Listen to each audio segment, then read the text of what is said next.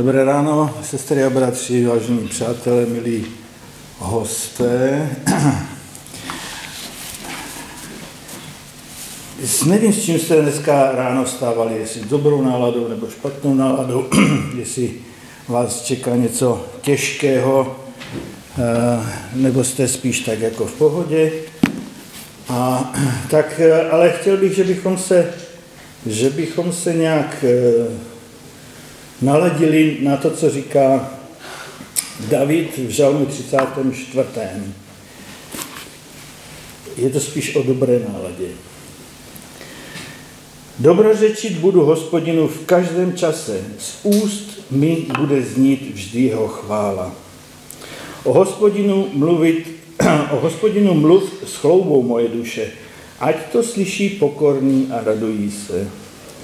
Velepte hospodina se mnou, Vyvyšujme spolu jeho jméno. Dotázal jsem se hospodina a odpověděl mi. Vysvobodil mě od všeho, čeho jsem se lekal.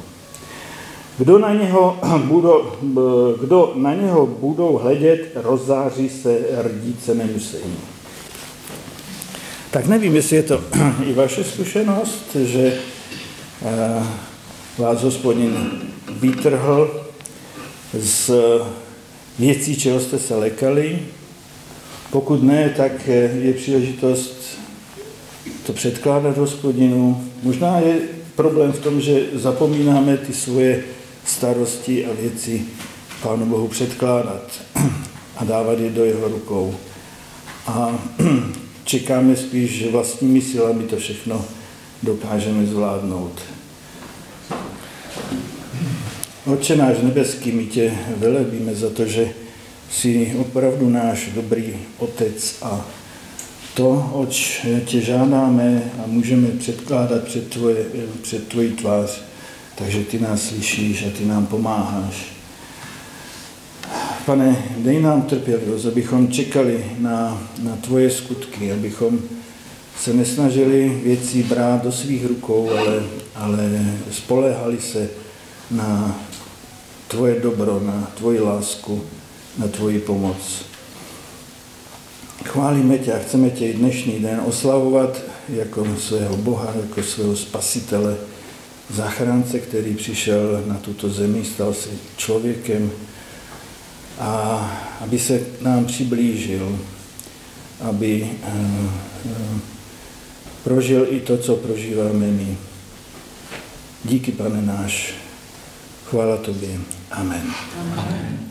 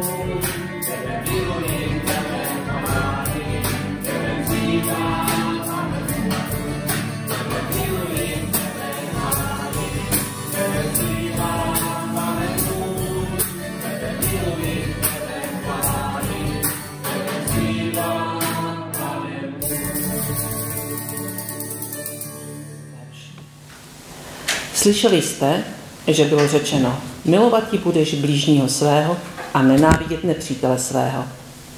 Já však pravím, milujte své nepřátele a modlete se za ty, kdo vás pronásledují, abyste byli syny nebeského Otce, protože On dává svému slunci svítit na zlé i dobré a déšť posílá na spravedlivé i nespravedlivé. Budete-li milovat ty, kdo milují vás, jaká vás čeká odměna? Což celníci nečiní to tež?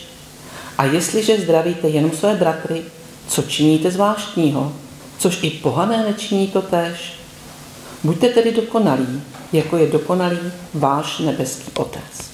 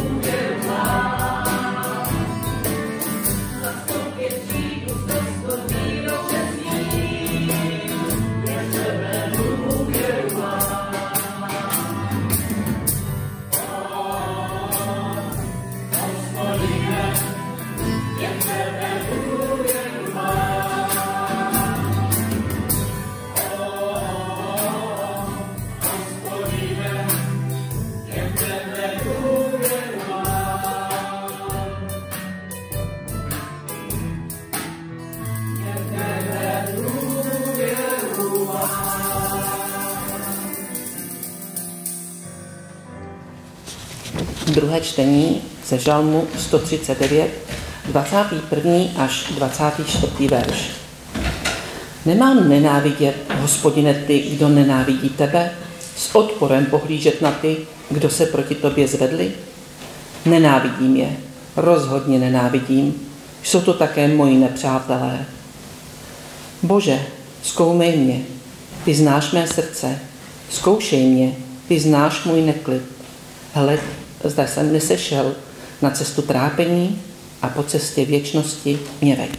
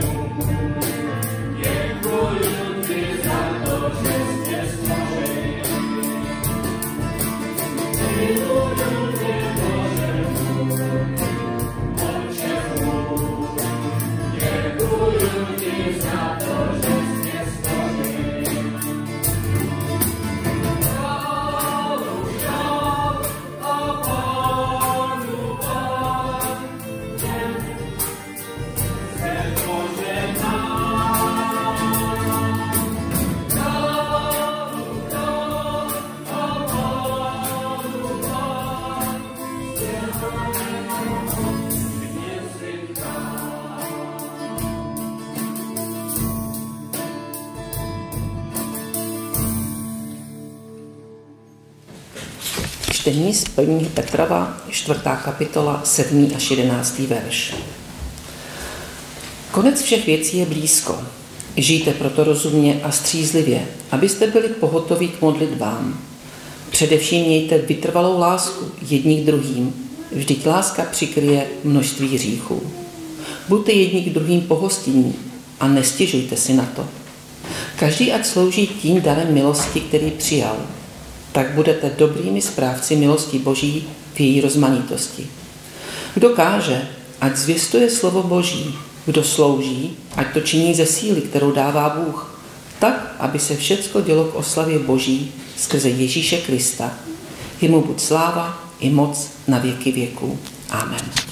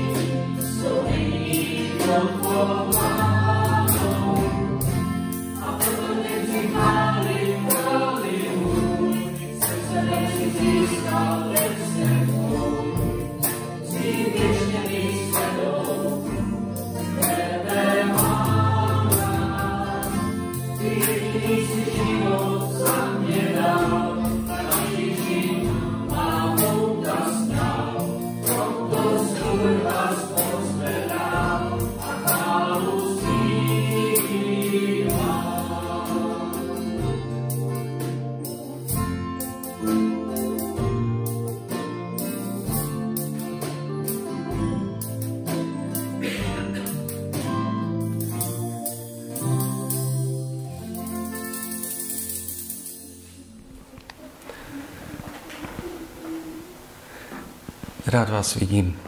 Po čtvrté se setkáváme ehm, u prvního listu Petrova. Ta čtení, která zazněla, eh, ta se specificky týkají toho, té situace, do jaké psal apoštol Petr, totiž do té situace, kdy křesťané prožívali velké nepřátelství a byli pronásledováni pro svoji víru a pro svoji zbožnost. A tak apoštol Petr ve svém dopise chtěl povzbudit křesťany a zároveň jim ukazuje, jak mají žít v takové situaci. A my už jsme si pověděli některé věci. Řekli jsme si, že apoštol do této situace jakož i do všech jiných, říká, že je důležité vědět, kdo jsem. Kdo jsem v Kristu. Obecně tohle je jedna z otázek, eh, které si eh, obvykle nějak jako lidé kladou do sem, jako proč tady jsem, ehm, jako co vlastně znamená můj život. A tak v Kristu smíme vědět, kdo jsme. Jsem ten, kterého Bůh stvořil. A stvořil mě z lásky. A stvořil mě proto, abych s ním měl společenství a stvořil, abych patřil do jeho rodiny. Takže vím, že patřím do boží rodiny. Jsem součástí boží rodiny. Jsem kristovec, křesťan. Jsem pokřtěný. To další jsme si pověděli, co máme. A apoštol předestírá před eh, křesťany v Malé Ázii všechny ty boží dary, které, které dostávají, všechny ty věci, které jiní lidé prostě nemají. A ten rozdíl je v tom, že ty dary, které dostáváme, jsou dary z hůry, že to nejsou dary, které závisí eh, jenom na tom pozemském, co máme k dispozici, včetně našich sil. A Pán Bůh nám dává ještě, ještě svoji zvláštní pomoc z hůry, právě v tom prostředí eh, eh, nepřátelském. Pak jsme si řekli, že je důležité, kde vlastně žijeme. Žijeme ve světě, kde lidé nezdílí naši víru a, a eh, my máme, my prožíváme to požehnání, že žijeme v míru. Dnes už křesťanství je tolerováno, zkrátka můžeme být v médiích, jsou křesťané v médiích, jsou považováni za součást společnosti a to je velké požehnání. Let zde tomu tak ale není. A tak eh, my si uvědomujeme, kde žijeme a zároveň, i když žijeme v pokoji, tak víme, že jsou oblasti, ve kterých naše pohledy, naše víra, a to, k čemu nás vede vztah s Pánem Bohem, že jsou prostě jiné než ty postoje nebo ta východiska, z kterých vycházejí lidé, kteří nejsou křesťany. A to, e, to, to nebývá potom jednoduché nějakým způsobem potom komunikovat a tak to zjišťujete, hlavně zjišťujeme to hlavně na eh, sociálních sítích, eh, kde, kde vidíme, jak eh, pokud jako nesouhlasíte někde s něčím, tak hned se tam vyrojí, vyrojí spousta, buď říkáme hejtu, anebo takových i docela tvrdých, tvrdých vyjádření. A dnes k tomu přidáme, s kým jsme na tomto světě. My jsme si pověděli, že Apoštol říká křesťanům, jste cizinci. Na tomto světě jste cizinci bez domovského práva. Jinými slovy tím říká, fajn, teď je tady eh, život, který žijeme, on úplně není fajn vždycky, ale má své místo, ale není to všechno. Je to, je to důležité, proto nás ostatně hospodin stvořil, ale není to všechno. Není to ten jediný domov. Je tady, je tady něco víc. A tak eh, jsme cizinci. Není to úplně jednoduché být cizincem eh, v nějaké zemi a, jako nevytváří to úplně blízké vztahy. A tak si říkáme, tak jak máme žít jako cizinci, když jsme stvořeni pro nějaké vztahy a pro velice blízké vztahy? A tady zjišťujeme, že Apoštol říká, ano, jste cizinci v tomto světě, ale v něm tvoříte společenství, v něm jste si blízcí. A a, a v tomto společenství, do tohoto společenství patří některé konkrétní věci, které on zmiňuje. A tak se mi to zdá i docela vyrovnané, jak to apoštol eh, se snaží povědět. Ano, eh, jako není, některé vztahy nemusí být příjemné, ale pak je tady společenství těch, kteří patří ke Kristu. Je to společenství těch, kteří, kteří žijí z Evangelia Pána Ježíše Krista a v něm v něm prožívají to vzájemné společenství. Já jsem se předevčírem zase po několika týdnech, minimálně to byl měsíc, jsem se podíval na Facebook a zase mi bylo líto, že vlastně já tam s nikým nekomunikuju, takže se mi tam neobjevují, takže se mi tam objevují všelijaké jiné věci, takže mě to tam nebaví. Eh, a tak jsem ve dvou skupinách.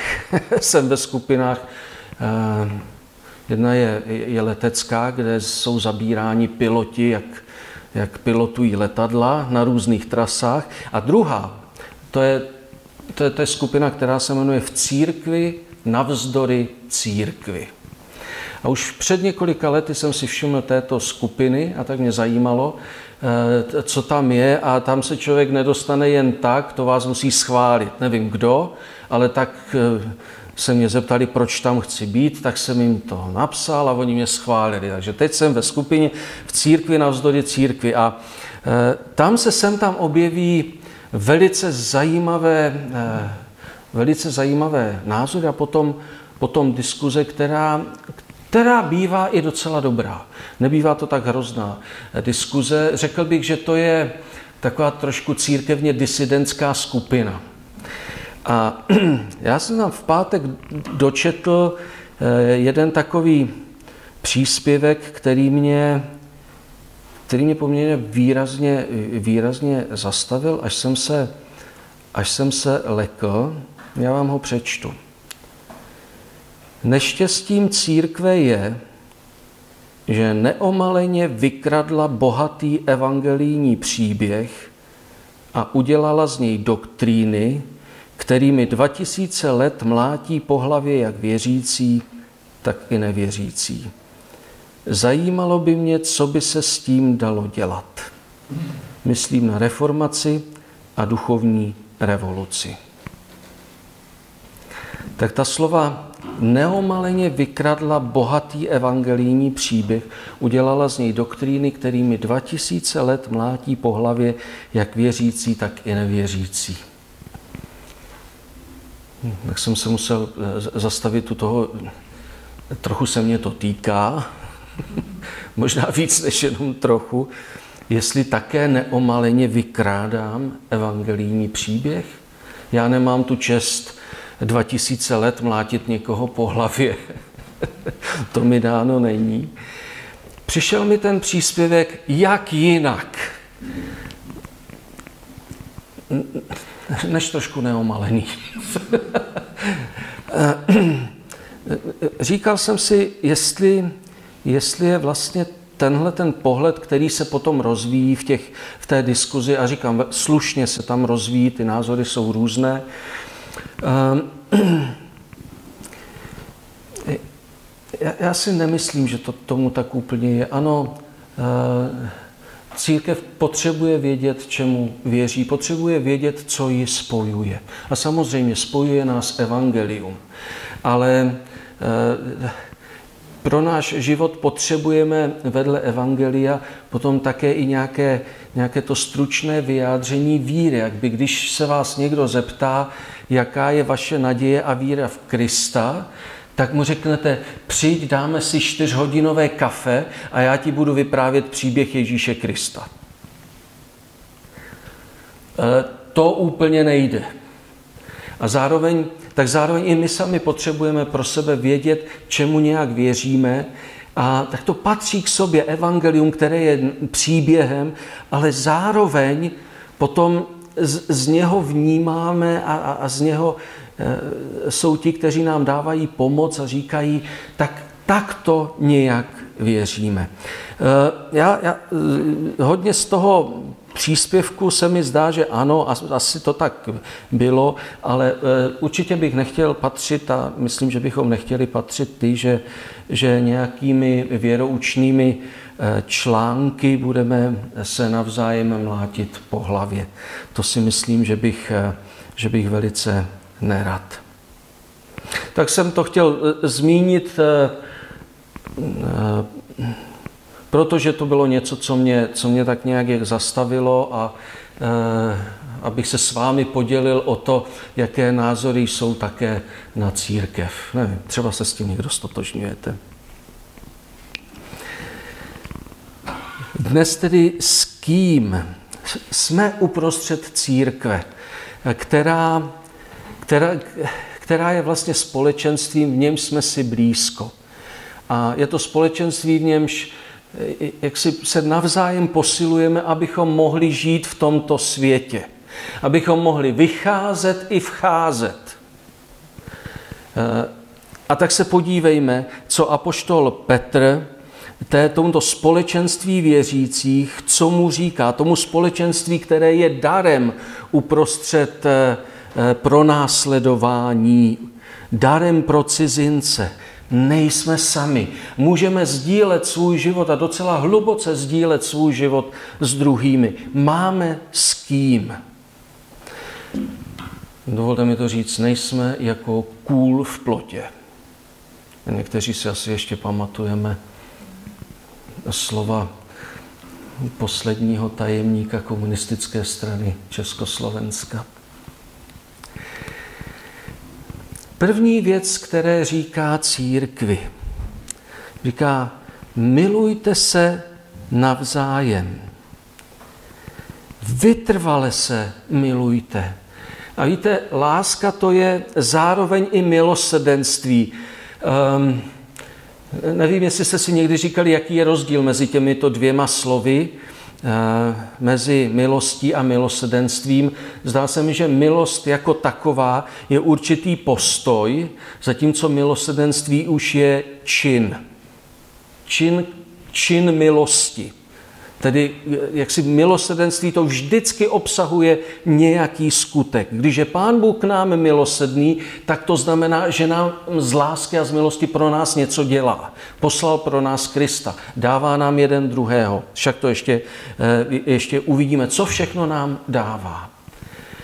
A k lásce, tedy k těm, kteří milují, jsou milosrdní, tak patří i soucit. Soucit, který který nějak vychází z, lásk, z lásky, to docela bychom dneska řekli, že soucit patří k nějaké sociální inteligenci.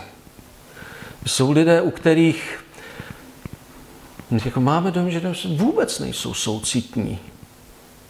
A nebo to nedávají vědět. Soucit vychází ze srdce a je to asi něco, co se potřebujeme učit a co se vlastně učíme v rodinách.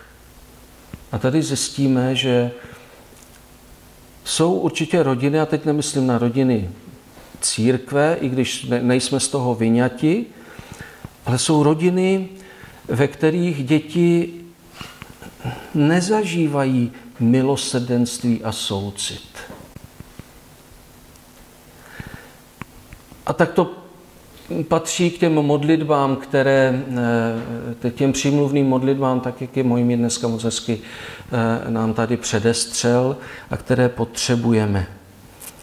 Tedy to, co vidí u církve, že je důležité, tak už to abyste se vytrvale navzájem milovali, byli milosrdní a soucitní, protože takový je vůči vám i Bůh.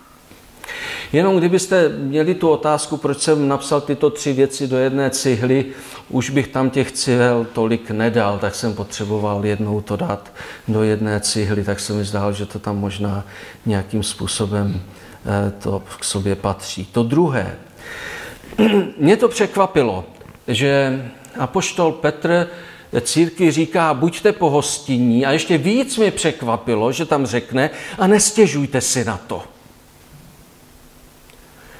Myslím, že tomu dobře rozumíme uprostřed situace pro následování, kdy prostě ti křesťané taky běžně žili, někde nějak pracovali, cestovali a tak možná nebylo pro ně úplně lehké v té společnosti žít. No a tak když věděli, že jsou někde křesťané, tak tam, tak tam přišli a očekávali, že a, a měli právo očekávat, právem očekávali nějakou pohostinnost, že se o ně zkrátka jejich eh, křesťanští souputníci, i když je neznají, takže se, že se o ně nějak postarají.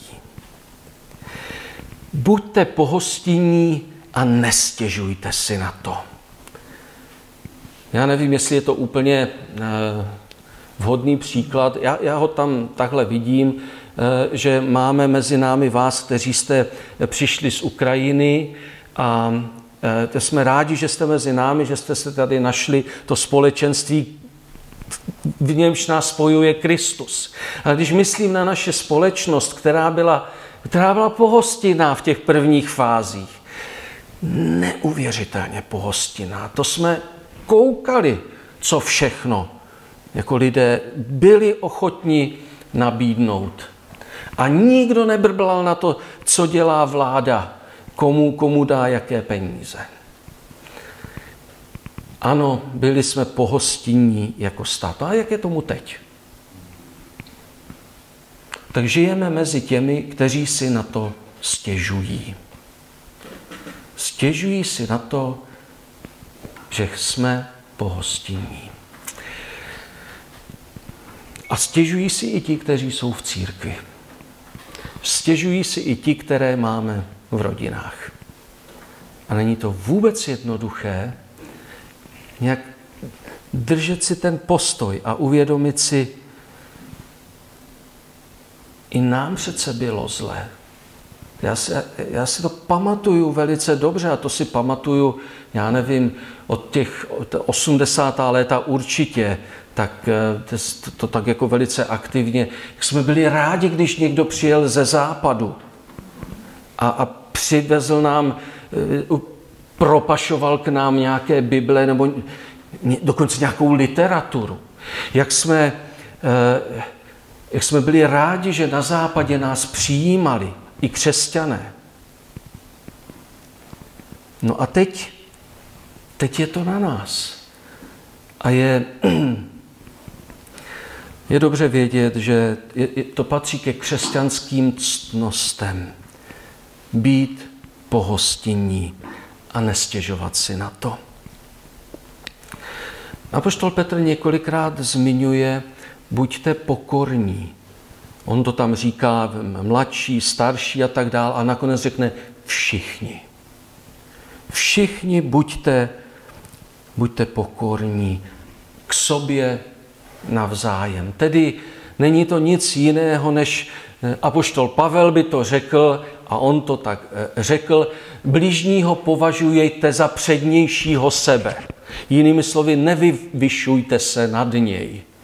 A tak spíš ten, takový ten postoj, ne, tak já jsem někdo a teď, teď mě tady uctívejte, starejte se o mě eh, a, a, a vyjadřujte mi nějaké, nějakou, eh, nějakou čest a respekt, která mi patří třeba v zaměstnání. Že jo? To je v zaměstnáních tam zkrátka jsou je nějaký sociální žebříček a ten prostě musíme ctít a respektovat. A nedělá nám to problém. A šéf je šéf a musí šéfovat. A podřízeným se to často vůbec nelíbí. No nedá se nic dělat, tak to je. Ale uprostřed církve, tam si uvědomujeme, že jsme přece všichni hříšníci. A to přece každého z nás vede k pokoře. Nikdo není víc. Když vzpomenu eh, na Brno, tady mezi námi to tak úplně eh, není, ale ten sociální eh, rozsah, který jsme měli v Brně, skutečně od těch bezdomovců, kteří spali v nějakých dírách, až po akademiky. Jako obrovské rozpětí. A najednou u večeře páně jsme tam všichni, nikdo není přednější protože jsme všichni hříšníci, kteří byli vyvedeni z otroctví hříchu do svobody života v duchu svatém. Tedy buďte k sobě navzájem pokorní. Velice důležitá věc, kterou Apoštol zmiňuje. Další důležitá věc. všechnu svou naději upněte na něj.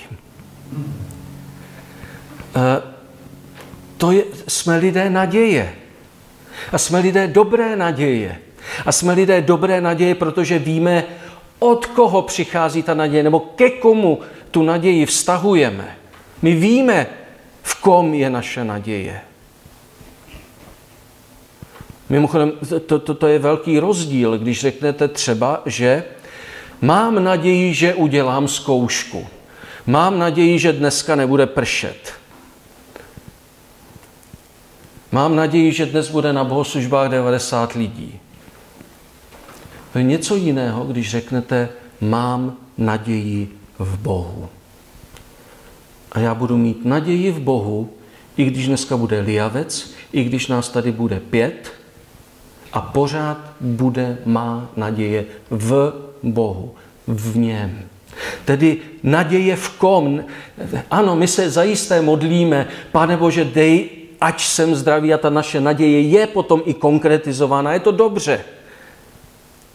Ale je potřeba vědět, že ta naše naděje nekončí s tím, pokud to Pán Bůh tak neudělá. Protože víme, že On ví. A On je dobrý. A nakonec to dobré i okusíme. Tedy lidé naděje, lidé doufající. Zdá se mi, že to je něco, co jsme zažívali v dobách eh, socialistické republiky. Jsme doufali, že to padne, že to na věky nebude na věky se Sovětským svazem. Ani jedno to už není, ani ta věčnost, ani Sovětský svaz. Eh, ale doufali jsme v Boha i v té situaci, když to prostě pořád bylo. A potřebujeme být lidmi naděje i dneska. Jak se lidé stěžují eh, na svůj osobní úděl, jak se stěžují na věci, které se jich vůbec nedotýkají to člověk zažívá u zpráv. Si, si říkáte, proč tam je zrovna tohle? Proč musím vědět jako tuhle věc? Další věc, které, kterou posílá apoštol círky, buďte odhodláni růst ke spáse. A jde tam o růst a o spásu, která bude odhalena v posledním čase. Podobně jako apoštol řekne, jste svatí, ale buďte svatí, tak my už jaksi žijeme v té spáse, v záchraně z moci hříchu, ale ona se ukáže až na konci času, až na konci věků. A k té spáse potřebujeme růst. Ehm, je fajn, kam jsme došli, ale potřebujeme ještě jít dál a můžeme uvažovat, v čem já mohu ještě růst. Tak si položte dneska otázku, v čem byste chtěli ještě růst. Protože v něčem musíte růst.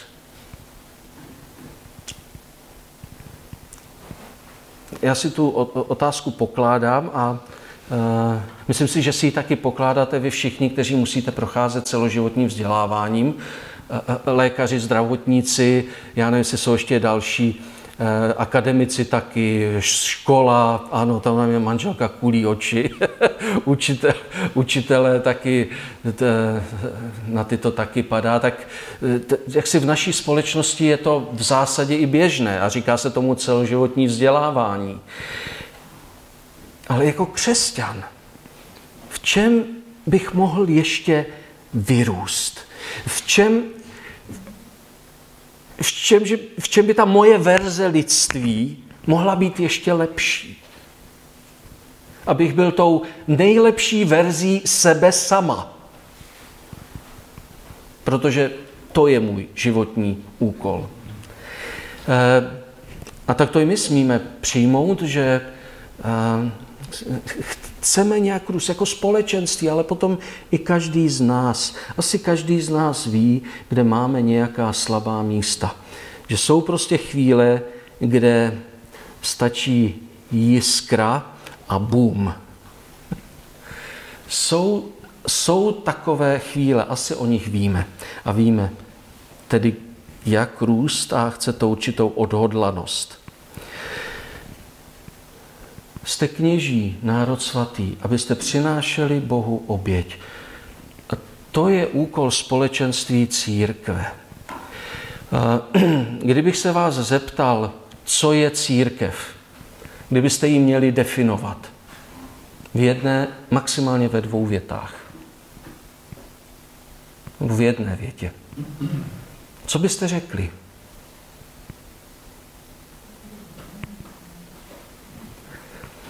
Já vás neskouším. Já, to, já, mám, eh, já mám výhodu, eh, že eh, některé ty formulky znám dlouhá léta na spaměť. Reformátoři říkají, a myslím si, že jsme to nikdy neopustili a že v tom se k ním hlásáme, že církev je všude tam, kde se káže slovo Boží, zvěstují svát, se káže slovo Boží a vysluhují svátosti. Kalvín k tomu dodá a koná se kázeň.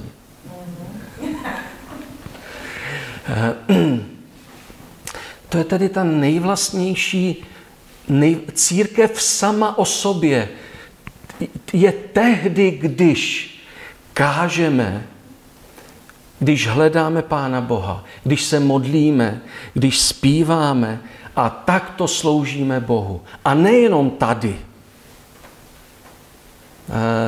Ludovít Fazekaš, jeden z, řekl bych, z, z mých velkých otců, výrazná postava, pokud jsme ji znali, mojo, určitě zažil mnoha, mnoha kázání tohoto energického, energického muže, u, ně, u jehož kázání jste vždycky sedávali co nejvíc vzadu, protože statečně vyvolával. Život jako bohoslužba všedního dne. Tedy tou, tou službou Pánu Bohu je vlastně všecko, co jsme a děláme. Je to nejenom, nejenom tady jsme církev, ale potom jsme těmi v té diaspoře, kteří žijí svůj život a i tam vlastně sloužíme církvi. Víte, já jsem, budeme poctiví eh, v práci, ne proto, aby mě nechytl šéf, když dělám něco špatného, ale kvůli Kristu. To je, to je služba Pánu Bohu. To v práci, v rodině. Si navza, v rodině sloužíme vlastně Pánu Bohu, když spolu žijeme.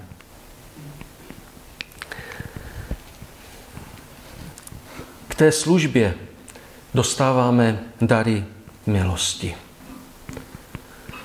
K tomu, co nám Pán Bůh dal v naší lidské výbavě, v tom, jaké jsou naše vlohy, co nám jde líp, k čemu jsme víc vybaveni, k čemu méně. Já prostě nejsem vybaven na to, řekněme, abych hrál americký fotbal. No, nebo jako nejsem vybaven k tomu, abych byl mnoho jiných věcí. Na to jsou vybaveni jiní. Ale k tomu všemu nám Pán Bůh dává ještě cosi, cosi mimořádného, uprostřed církve, kdy si navzájem sloužíme. A apoštol Petr tam řekne, buďte dobrými správci božích milostí. Dobrými správci božích milostí. Kdo je pastýřem, a dělá pastýřskou službu. Kdo káže, ať káže. Kdo, eh, kdo je diakonem, ať je diakonem. A teď apoštol Petr tam nerozvíjí víc těch darů milosti, to dělá apoštol Pavel, od něho máme obrovské seznamy, kde vlastně veškerá činnost církve je, spočívá na, na božích darech. Na tom, že Pán Bůh dává schopnosti, moc a sílu. A ještě jednu věc, Apoštol Pavel napsal ten svůj dopis křesťanů v pronásledování takovým způsobem, aby bylo zjevné, že nesmí vytvořit géto, tedy nějakou uzavřenou společnost, v níž nebudou mít nic společného s ostatními. Ostatně to ani nejde. Ale kdyby to náhodou někdo chtěl, tedy netvoří géto. Prostě žijeme, ano, spolu, kde si navzájem rozumíme, řekli bychom už dneska v nějaké té sociální bublině, ale to není všechno. Odsud jakoby vycházíme do světa a jsme tam, kam nás Pán Bůh zavedl a pak se zase vracíme zpátky. Myslím, že jsou dneska taková společenství, nevím, jestli ještě, já tuším, Amiši, ti pořád možná budou žít v takovém skutečně odděleném prostředí, kde, kde prostě s tím okolním světem nemají. No, ve chvíli, kdy mají mobilní telefony, tak už mají asi e, nějaký kontakt. Nevím přesně, ale to jsou typicky ta společenství, kde ještě dnes bychom se s tím eh, setkali. Víte, proč je tam ta prázdná cihla? Protože mi to bez ní přišlo prázdný. Ta nemá jiný důvod. Co s tím? Viděli jste, že apoštol Petr nám vlastně dává takový, takový kaleidoskop různě rozsetých rád a, a, a co říká křesťanům, kteří mají žít v církvi uprostřed pro následování. Vlastně se to i těžko systemizuje nějak eh, jako do jednoho, dvou bodů, aby si to člověk nějak, nějak, nějak zapamatoval. A proto jsem říkal celý červen a říkám to znovu. Čtěte si první Petrovu, ještě týden. ještě týden, eh, abychom nasáli ten, ten způsob, kterým apoštol mluví, takový velice přirozený způsob. Eh, a myslím, že to je důležitější než tedy to co, to, co vám ukazují. To by mohl být takový jako určitý úvod k tomu, abyste, eh, abyste mohli číst. Já teď docházím do bodu, eh, kdybych, kdybych rád nějak ukončil to naše přemýšlení nad prvním listem Petrovým a tak znovu Znovu chci zopakovat, že jsme se dotkli toho, kdo jsem, co mám, kde žiju na tomhle světě, s kým žiju, kdo jsou moji přátelé, kdo jsou ti, ke kterým chodím pro radu, kdo jsou ti, s kterými je mi nejlíp a pak také to, jak žiju. To, byly, to, jsou, to jsou ta různá povzbuzení, řekli bychom i napomenutí. Žijte žijte vzorně mezi křesťany, podřizujte se navzájem, služebníci ctěte své pány, eh, církev, ať je milující, pokorná, to je všechno to jak. Jak žít, s kým a jak. Myslím si, že těchto pět cihel, těchto pět témat, eh, která jsou tak důležitá pro náš život – já si vlastně dost dobře neumím představit, že by jedno z nich chybělo. No teda umím si to představit, ale eh, to by pak úplně nebylo ono. Jsou to určité základy a, a myslím si, že i, i tak, jak to je vlastně posazené, že musíme začít tím, kdo jsem. To je ten úhelný kámen. Já už jsem nevěděl, jak ho tam vyjádřit jinak. Kdo jsem v Bohu v Kristu, až pak potom nahoru. Co mám, kde žiju, s kým a jak žiju. Petrův dopis je, už jsem to vlastně říkal různými způsoby, je vlastně takový jakoby mikrokosmos, takový kousek světa, v němž se proplétá, velice se proplétá to vnitřní a vnější, tedy to, kdo jsou, jaké jsou mé vnitřní zdroje, na koho jsem napojen, z jaké síly žiju. To jsou ty neviditelné zdroje, které se pak projeví vnějšně. Jak vzorně žijeme na tomhletom světě, jak eh, dobrými jsme křesťany uprostřed církve. skutečně se tam proplétá víra a skutek. A je dobře to alespoň takto, eh, takto vnímat a mně se vlastně líbí ta propletenost, která se nedá vlastně nijak pořádně systemizovat, i když já se o to už čtvrtou neděli pokouším. A zjišťuju, že to nejde. Je to místo, kde se proplétají mnohá témata zbožnosti a etiky. Zbožnost to není nic jiného než víra v praxi. To je to, je to jak se směrem k Pánu Bohu a, a, a poté k lidem, jak se směrem k Pánu Bohu eh, jak si vztahuje můj život. A z něho potom vyrůstá to, co bychom nazvali etika. Eh, jak si, myslím si, že teď opustím, eh, opustím ten kontext pro následování eh, doby apoštola Petra. Myslím si, že nějaké etické důrazy nebo etické přemýšlení, které má nějakou váhu, je něco, co, co potřebujeme v každé době. Eh, mě jaksi nesmírně zasáhla kdysi jedna kniha, eh, která eh, mě uvedla do toho, jak vlastně do, do, do objevu všech těch atomových souvislostí, do té problematiky štěpení atomu od toho, jak vlastně to uviděli poprvé až do té chvíle, kdy vznikla atomová bomba.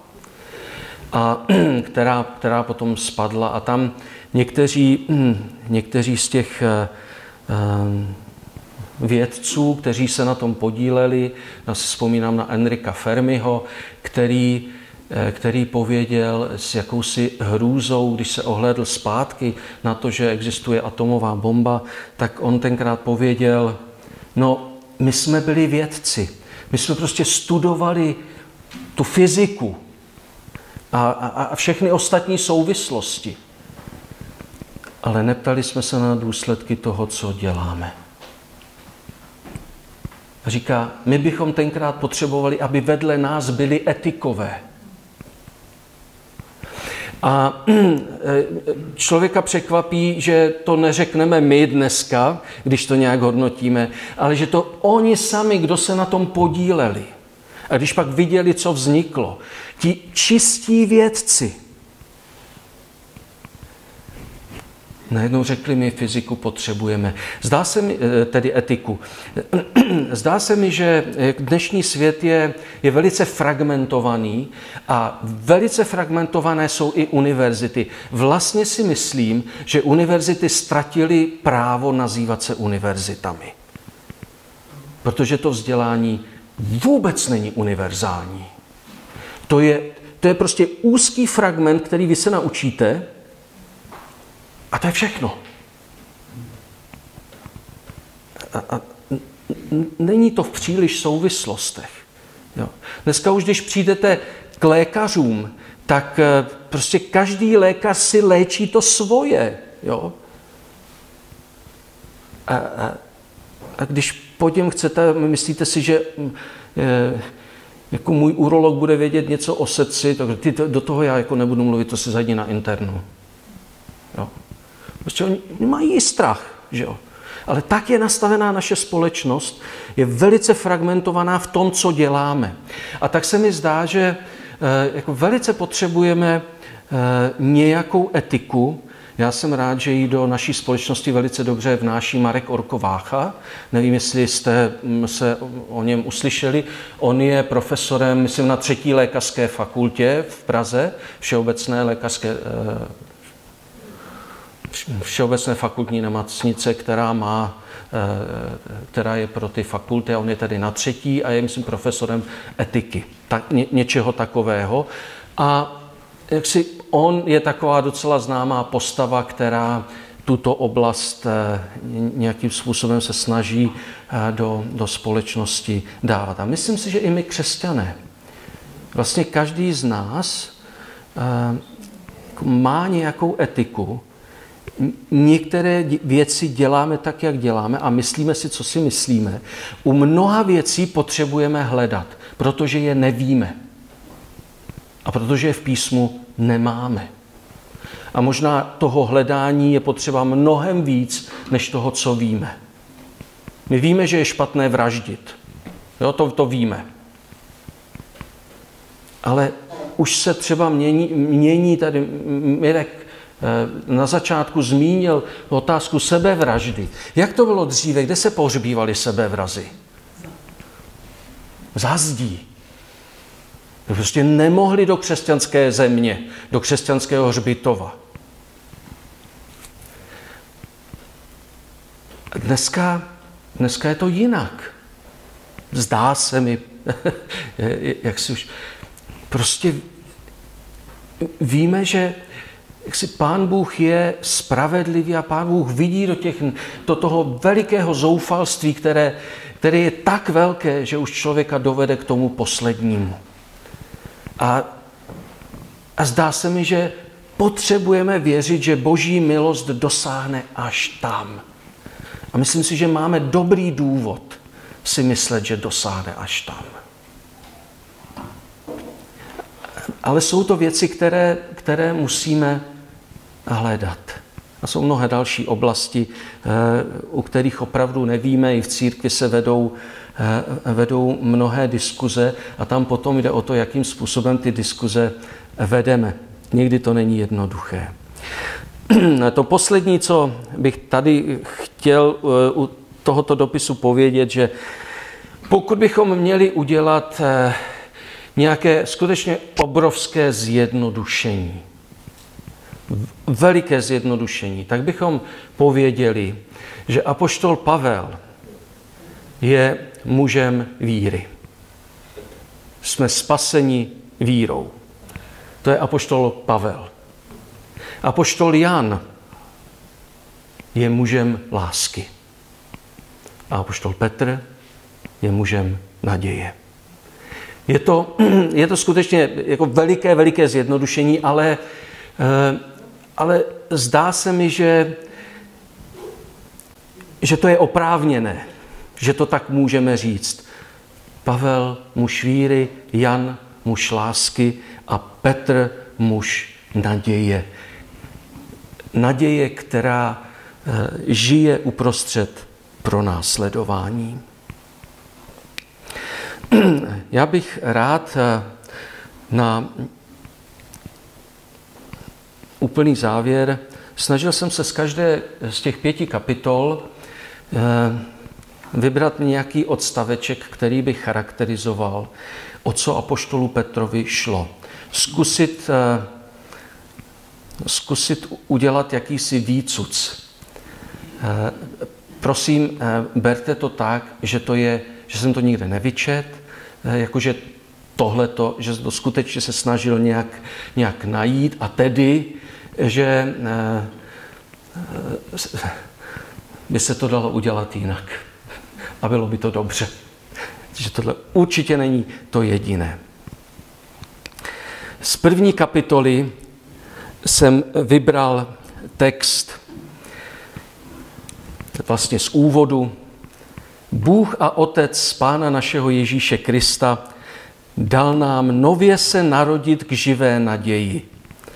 A boží moc vás skrze víru střeží ke spasení. Boží moc, ne naše skutky víry. Boží moc. Velká radost, naše spása nezáleží na nás. Narodili jsme se do boží rodiny a Bůh nás střeží. Druhá kapitola Moji milovaní, v tomto světě jste cizinci. Tečka. Odhoďte tedy všechnu špatnost a mějte touhu po nefalšovaném duchovním mléku, abyste jim rostli ke spasení. Přicházejte k němu, kameni živému. Cizinci, ale ti, kteří touží po duchovním mléku a společně přicházejí ke Kristu třetí kapitola, z třetí kapitoly. Buďte jedné mysli, soucitní, plní bratrské lásky, milosrdní a pokorní.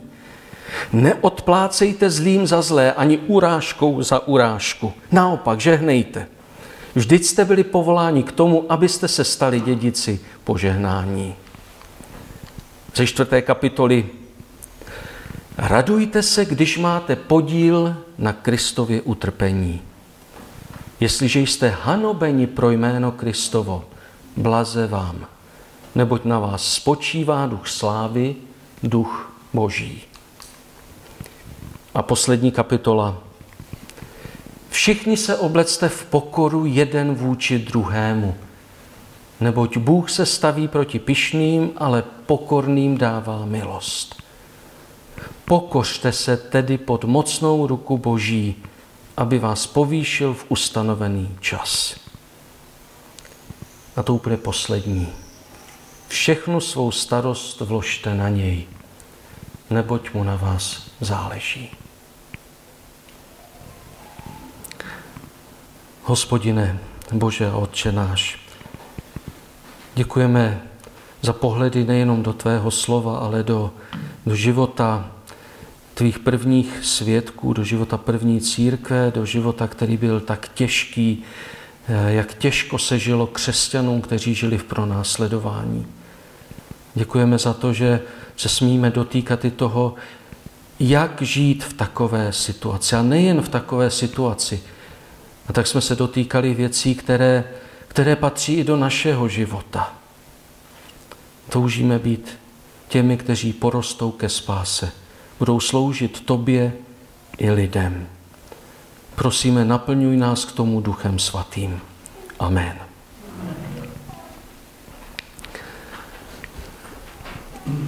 Já poprosím o oznámení. Předtím řeknu jedno, úplně, které jsem dneska ráno eh, dočet z mailu. Na nástěnku jsem dal eh, dopis eh, jedné sestry, zapomněl se, jak se jmenuje, prosí o nějaký příspěvek na knihu, kterou chce vydat. Ehm, když jsem si četl, co o té knize říká, tak se mi zdálo, že to na, stojí za to na tu nástěnku dát. Já na nástěnku nedávám každý dopis, který mi dojde, ale tenhle se mi zdálo, že tam stojí za to. Tak jestliže e, jakoby se chtěli e, se na to podívat, tak se na to jukněte, přečtěte si to, je to trošku delší.